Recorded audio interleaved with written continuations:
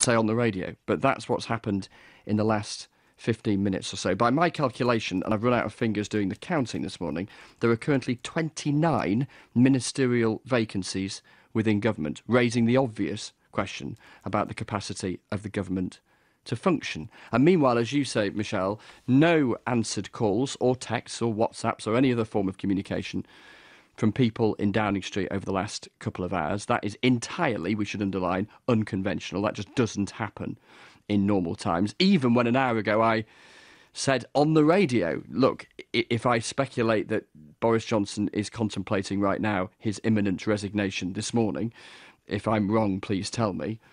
No calls or texts after that either. So I think we can say with reasonable confidence that that is the conversation that's happening in Downing Street right now.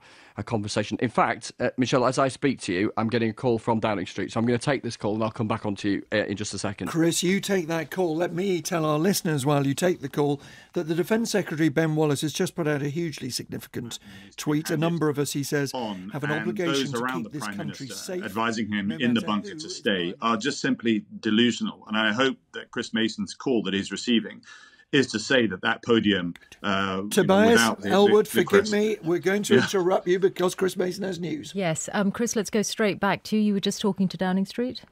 The Prime Minister has agreed to stand down. He has spoken to Sir Graham Brady, the chair of the Backbench 1922 Committee, this morning and said that it is appropriate for him to stand down and for the party to pick a new leader in time for the party conference, that being at the beginning of October. I expect we'll hear from the Prime Minister at lunchtime, if not before publicly, uh, spelling out that he is resigning as Conservative Party leader. That will start a process, a leadership race to select a new Conservative Party leader. We should emphasise that in the meantime, he will carry on as Prime Minister. So he will continue as Prime Minister until the autumn, allowing a Conservative Party leadership race to select the next Prime Minister to begin. But we can report, just to emphasise what I've just been told, the Prime Minister has agreed to stand down. Which, which is quite a moment, Chris. So it was all developing this morning. Yeah, a huge moment. It was all developing. All of those unanswered calls were because a conversation was going on in Downing Street about what Boris Johnson would do amid this clamour of resignations happening, as we've been reporting since half past six this morning, of minister after minister after minister saying they no longer had faith in Boris Johnson, including, as we were saying just a couple of minutes ago, ministers appointed to his cabinet a matter of 35 hours ago. Carry on as Prime Minister, and therefore, of course, I had to resign as a minister in his government, which uh, I did. Chris uh, thank you. Thank you very much. I'm sorry I'm going to cut you short. I just want to bring in Nick now because we're getting more information. Uh, just bring us right up to date, Nick. Yeah, just through from my colleague Chris Mason, our political editor, that the expectation is now that Boris Johnson will resign today. That power has been sapped from him in a way that it's impossible for him to continue, and that in the next few hours we will hear Boris Johnson say that time is up. It seems like the message from the Chancellor, the new Chancellor, that they had to go, the resignation of ministers that were put into office just within the last few hours, that that has been enough to tip the balance. And the expectation now, according to my excellent colleague Chris Mason, is that the Prime Minister will be gone. Okay, so this is based uh, from the BBC's political editor, Chris Mason. His, his information is that the, the resignation will happen today because this was the speculation that would it be today, would it be dragging into next week? But it seems clear that the sequence of events this morning, with some very, very significant interventions, literally in the last 15 or 20 minutes, has changed things once again. Yeah. So basically, yeah, exactly that. The, the situation has evolved in a way over the last few hours that Boris Johnson who last night was planning to, to cling on to power, had planned some sort of uh, reshuffle today to try and get his, uh, his, his leadership back on track. That that has now been pushed over the edge. That he's decided he can't go on, and the expectation now is that he's going to resign. George Freeman, he has his supporters. Good morning, George. Good morning, Nicky. Hi. Um, this is an extraordinarily successful politician. Why do you want him to go? He has a massive mandate. So uh, Boris Johnson, uh, we're just hearing uh, Boris Johnson is resigning as yes. the Conservative Party leader. Chris yeah. Uh, Mason has been uh, told uh, that news is just yep. in. Um, George Freeman, what's your reaction? Well, I'm pleased. Um, I'm very, very sad. This is a personal tragedy for him. But the truth is, uh, he has betrayed the promises that he made many of us. We elected him in the noble tradition of one nation conservatism. There'd been fears amongst some of his team as to whether he would try to go into a general election. We are now hearing from Chris Mason, our political editor, that Boris Johnson will resign. So, Chris Mason, our political editor, saying Boris Johnson is going to resign here from Downing Street. We will expect to confirm that as fast as we can. And of course, Chris Mason must have uh, obviously uh, heard that from uh, his sources.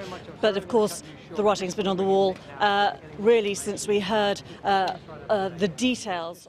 We've been here before with reports like that, Stephen, suggesting he he is going to go, but he, you know, yeah, controversy yeah. to controversy, he's still there. Yes, we've had Pippa uh, Crerar and um, Paul Brand from uh, who have uh, broken quite a few stories. So we'll see what we'll see what happens. But uh, things may be moving this morning. But the fact that they even got to this point, I think, uh, is is is damning in, in itself. Uh, I have to say it's particularly notable that the DUP, amongst all the Northern Ireland parties, haven't yet come out uh, to call for his uh, re- resignation. They keep saying this is an internal matter uh, for the Conservative Party, but this is a, a, matter for the whole UK, its credibility, and indeed its, its current governance. Just, a, just to break in there, for, sorry, sorry to interrupt you, Stephen. Uh, Chris Mason, the BBC's political editor, is saying that Prime the Prime Minister Boris Johnson will resign today. Yeah. So it looks yeah. like the writing may be, be on the wall.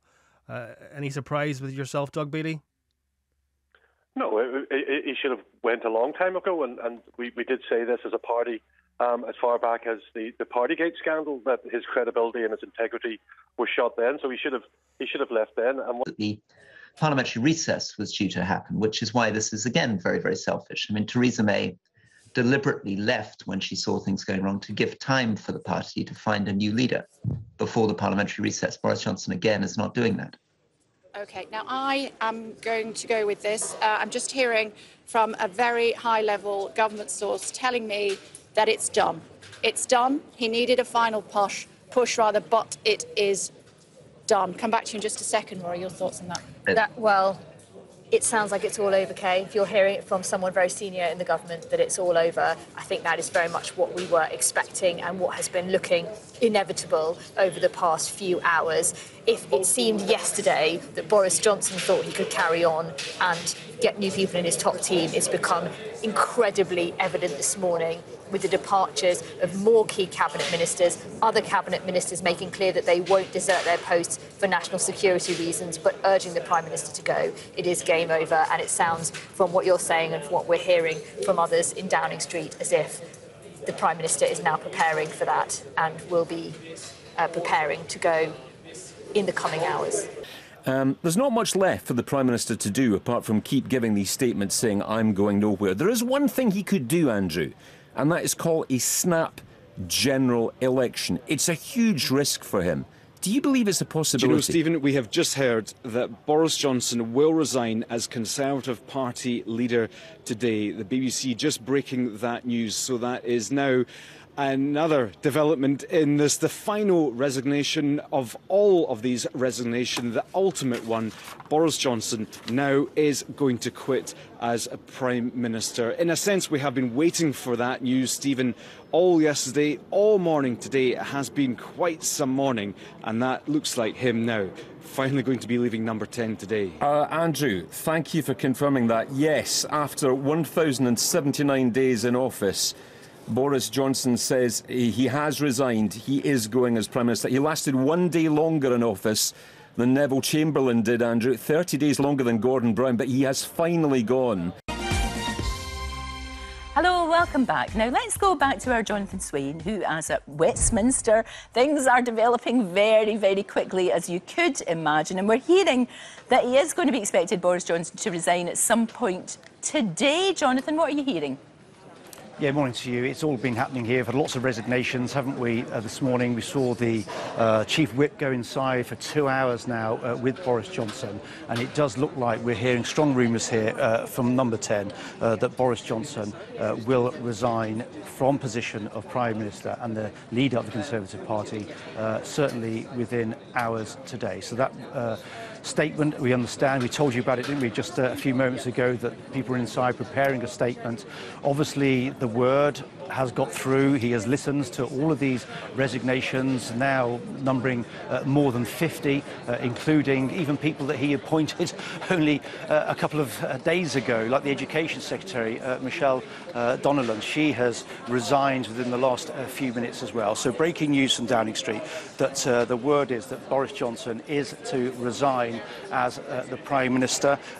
What's that happens now for the country and the party, we'll have to wait and see Will there be an immediate leadership contest? Will he stay in position? We'll have to wait and see. But we're expecting a statement from the Prime Minister uh, shortly here outside the door of number 10, Lorraine. Thank you, Jonathan. It's all happening. Can I just say, and I'm taking no credit for anything, um, Psychic Pig, Psychic Pig said it. But 10 minutes ago, Mystic Marcus, there he was, and he said go, and then almost immediately we heard that Boris Johnson was going. Now you might think that's quite silly. But pigs are very intelligent, I think you'll find. It needs to happen now. because it's not just Boris, it's the entire Conservative There is party. just absolutely no bunch. way. There is absolutely no way that Boris Johnson can, should, or I th- honestly, there is no way he could call a general election. I think the Queen would have to step in at that point. Listen, Rashid, I'm going to pause you there. Thank you very much indeed for your call. You're listening to LBC. It is now being reported by a number of outlets that the Prime Minister is going to resign today. We await official word from Downing Street, but it is now being widely reported that the Prime Minister has decided that he will go and he will resign today. Whether that means he will stay in office as Prime Minister until a new person is chosen, we will wait and see. We will wait for what Downing Street tell us formally, but I'm telling you what is being widely reported now that Boris Johnson is to resign today parliamentary democracy. So if Parliament, those MPs decide that he should go, then then he needs to go. But we'll park that to one side. His argument is he has a mandate from the people. Um, what happens next? I, cannot see how he lasts the day, Dot, in all honesty, because Gareth, there, there Gareth, is no functioning you know, you know government what I'm at the do? moment. Gareth, Go on. Oh, he's going, is he? Boris Johnson will resign as Prime Minister today. The BBC has been told. There we go. There we go. Yeah, there's no functioning government, Dot. That's absolutely no surprise. He, he cannot fill the ministerial posts and the government aid posts, all the vacancies that have been created. So many people have resigned. There is no one left to fill it. Now, if people are listening to this, I think it's quite important to point out people are listening thinking, no functioning government, does that mean my benefits won't be paid? Does that mean my pension won't be paid? It doesn't mean that. That that bit of government will still function quite handily. What it means, the longer that this work. Um, we're getting briefings from journalists all over the place saying that he has now agreed to resign. Uh, so I would be incredulous if uh, it doesn't happen in the next uh, few hours. Um, uh, yeah, so we are we're hearing the same report. So BBC, the national broadcaster here, saying he has decided to resign, and the other lobby correspondents are getting similar sort of reports as well. Um, I mean, he pushed it as far as he could, didn't he, right? So he basically had the cabinet going to him yesterday, uh, them asking for him to go. He didn't go, and that was really crossing the line for the likes of Zahawi. Yes, it was. I mean, normally when we have seen um, prime ministers in this situation before, it really hasn't taken a public delegation uh, of their colleagues to tell them their time is up. Normally, that conversation would be conducted in private and probably well before uh, what we saw yesterday. Thank you, John, from Greenside in Edinburgh. A brilliant pick your own playlist Mr. Blue Sky, Hush from Deep Purple, The Night, Frankie Valli, and The Four Seasons.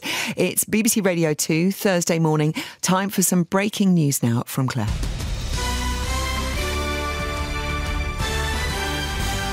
Thanks, Zoe. And in the last few minutes, the BBC has been told that Boris Johnson has agreed to stand down as Prime Minister. He'll remain in the post until the autumn to allow the Conservative Party to choose a new leader. Mr. Johnson is expected to make a public statement in the next few hours. And we'll have more on that at our next news bulletin here on BBC Radio 2 at 10. Thank you very much, Claire. Updates through the morning and, of course, with Jeremy from midday.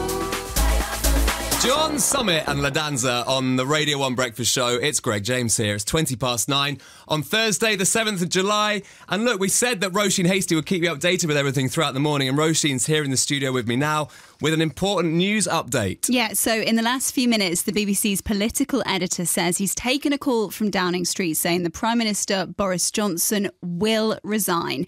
We're expecting to hear from him around lunchtime or before. It's after a record number of politicians in his own Conservative Party quit their government jobs, saying they didn't think he should lead the country, putting pressure on him to go.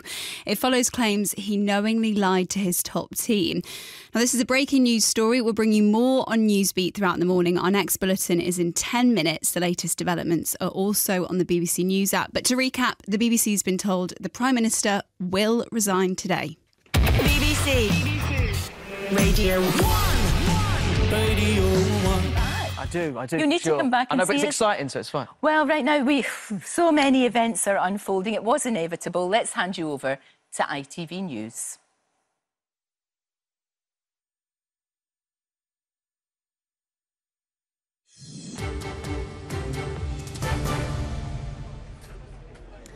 Good morning. We are breaking into programmes to bring you the news from Downing Street that Boris Johnson will resign today. In the last few minutes, the number 10 spokesman has confirmed the Prime Minister will make a statement to the country today. His authority has been draining away following dozens of ministerial resignations. This morning alone, eight ministers have quit. That brings the total to 54 so far. That includes his Education Secretary, Michelle Donelan, who was only appointed two days ago. And in the last hour, his new Chancellor, Nadhim Zahawi, who was also appointed in the last couple of days, called on him to go. This is a fast developing story for uh, people who are just joining us. We are breaking into programmes to bring you the news from Downing Street this morning that Boris Johnson will resign today. In the last few minutes, a number 10 spokesperson has confirmed the Prime Minister will make a statement to the country today.